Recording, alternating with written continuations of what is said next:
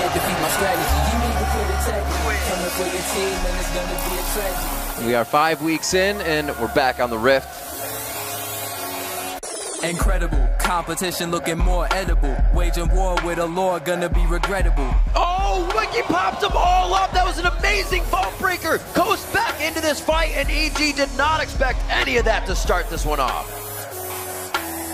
People like you are so easily forgettable. Playing against me, son, your talents ain't accessible. end's forced out of the fight. They do come up with a fast kill there, though. Oh, Dyrus is just. low. Oh my god, he lives. No way. You can't defeat my strategy. That goes for your whole team, boy. It's a tragedy. Oh, just in time. Oh my god, they turned it around on Cutie Pie's head. I'm a professional. Did you think that it was ethical to come against the great? Need to be a bit respectable. No, he finally goes down. That's gold going over to Boy Boy. Only two kills shut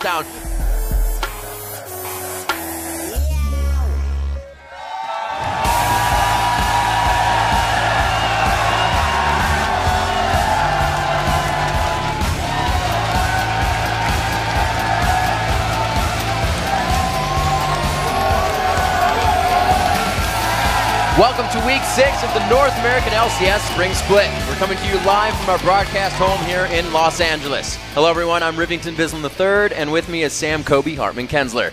Today, we've got another huge day of games coming your way, starting off with Dignitas facing off against Evil Geniuses. First, let's take a look at the news out of the league. Huge roster changes for XDG. That's right. It was announced that Bloodwater is out and Zuna's moving back to the bottom lane, but this time as support.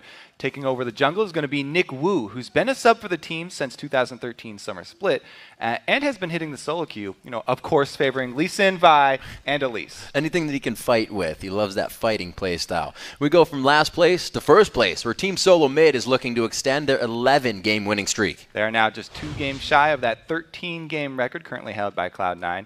And from their games, they're looking like a well oiled machine that does not show any signs of slowing down. That's right, and they'll face off against Coast today, a team that's feeling a wave of momentum right now. Yeah, Coast did have a pretty big weekend. They snapped that six game slide, and Yeah. they ended the week going 2 and 0, effectively doubling their wins for the split and climbing two spots in the standings. So, meanwhile, the EU LCS continues to surprise the once dominant Fnatic, going on a seven game slump and falling into a tie for third place. The new force, Roccat, holds on to their first place spot despite an upset to SK Gaming, and Copenhagen Wolves took MVP for their jungler Amazing. And back in the NA, let's look at how the league stacks up coming into today's matches. Like we said, first place it's Team Solo Mid with a commanding 11 and 1 lead.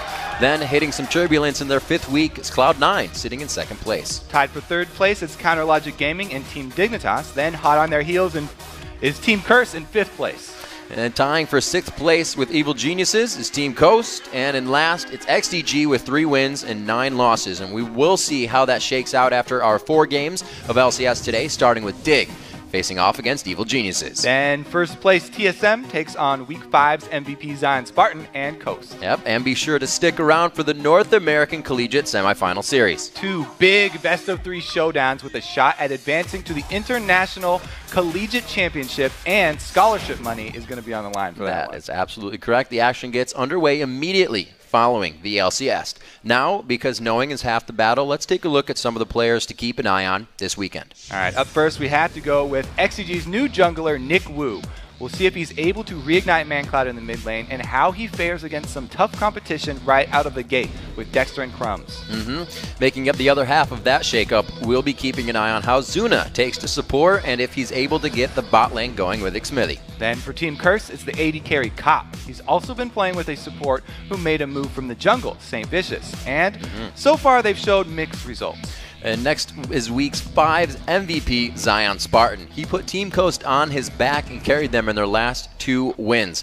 But today, they face the king of the hill, Team Solo Mid. And last is Pobelter. He's one of the more diverse mid laners in the league and definitely a bright spot for Evil Geniuses. And if you're looking for more info on the players, head over to lolesports.com. There you can check out player interviews and in-depth statistics, all the games from this season, and much more. You can also get your tickets to join our in audience and brush shoulders with the pros. Click on the tickets link for all the details.